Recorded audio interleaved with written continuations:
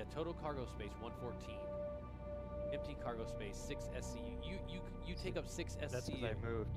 I moved to the corner, and so now I'm in the middle. All right, here we go. Refresh, do a change. Anyways, go ahead.